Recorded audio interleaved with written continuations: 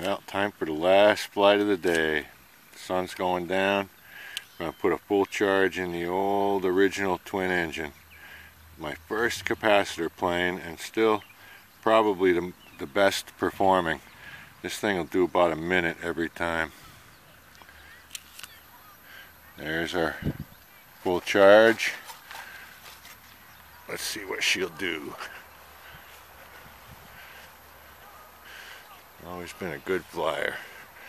I think we're going to do a minute right here. Here we go.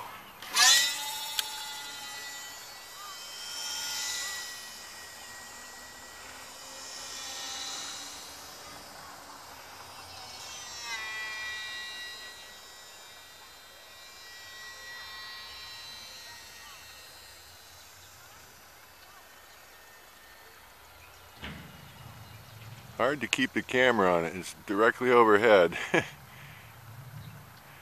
now the motors are running down and she's just floating. Still got a little bit of thrust there helping it along.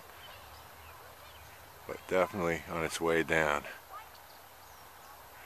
Probably one more circle.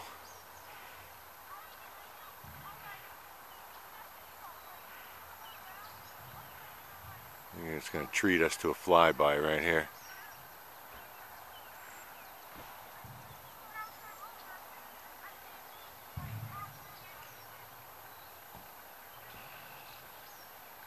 Ready for touchdown? Down. We'll check the tape later and see what that is for flight duration. I'm willing to bet it's about a